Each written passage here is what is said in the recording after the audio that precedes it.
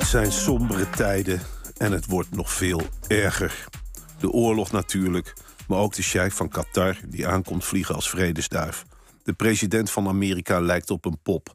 Danny Blind keert terug bij Ajax. De olieprijzen stijgen. Een pak hagelslag kost 8 euro.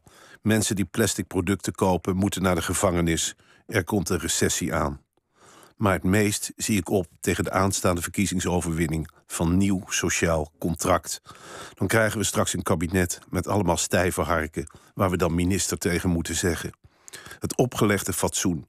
Keurige burgers die de hele dag alsjeblieft en dank u wel tegen elkaar zeggen. Het wordt weer net als vroeger, met onbegrijpelijk pratende politici die met elkaar koeterwalen over details. Journalisten kregen vandaag zeven minuten de tijd om het verkiezingsprogramma van Pieter Omtzigt door te worstelen. Zeven minuten. Pieter Omtzigt weet zelf wat dat betekent. De stapels dossier in combinatie met een gebrek aan tijd werden hem zelf ook te veel. Kijk naar de groepsfoto met die kandidaat-Kamerleden. Het is porno kijken op zolder. Het is een duizend dingen doekje in een emmer met sop. Het is vitaminepillen slikken tegen de kou. Een hek om de eigen tuin. Het is op 29 december alvast oliebollen halen. is pudding eten met mes en vork. Het is de buurman die zeurt over een scheef geparkeerde auto. Het is de voorzitter van de welstandscommissie. De scheidsrechter bij het jeugdkorfbal. De penningmeester van de handwerkclub. De zeurpiet uit de VVE. De vrijwillige verkeersregelaar. De complete oude raad van de basisschool. De voorzitter van de club tegen humor. En het is hun leider de grote, kreukloze beterweter, de levende puntkomma, de heilige Pieter. Ze komen allemaal integer over. Daar zijn ze door hem ook persoonlijk op geselecteerd. Maar, ze hadden zich toen ze aanmelden nog geen idee van het programma waar ze zich voor gaan inspannen. Wat hen bond was een volledig vertrouwen in Pieter. Een man die nooit buiten de lijntjes kleurt. Maximaal 50.000 vluchtelingen toelaten is straks ook maximaal 50.000 vluchtelingen.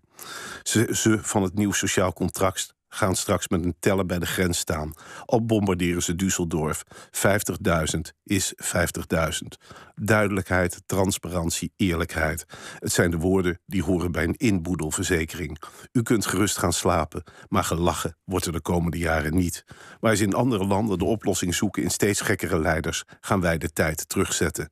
Over een maand zitten we weer in de jaren 50 met een veel te lang praatje van de minister-president, met heel veel rapporten en een leger modelburgers die iedereen controleren. Kijken of het klopt, de vinger op de zere plek leggen, pannenkoeken bakken op zaterdag, door het bos wandelen op zondag, sparen voor de vakantie, op woensdag een gehaktbal en allemaal een postzegelverzameling. We gaan het onder leiding van een leger grijze muizen heel anders aanpakken. We gaan het beter doen dan de rest. In alle andere landen zullen ze naar ons wijzen. Kijk eens hoe ze het daar op orde hebben. Geen rafelranden, Iedereen in het corset. Alleen nog maar gesprekken op inhoud. Streng maar rechtvaardig. En weg met de expats die ons land vervuilen met hun gekke Engels. Het is een van de speerpunten van nieuw sociaal contract. Alle psychologen spreken straks weer Nederlands. We zullen het meer dan ooit nodig hebben. Mis niks van het laatste nieuws met de NPO Radio 1-app. Download hem nu. Wie luistert, weet meer.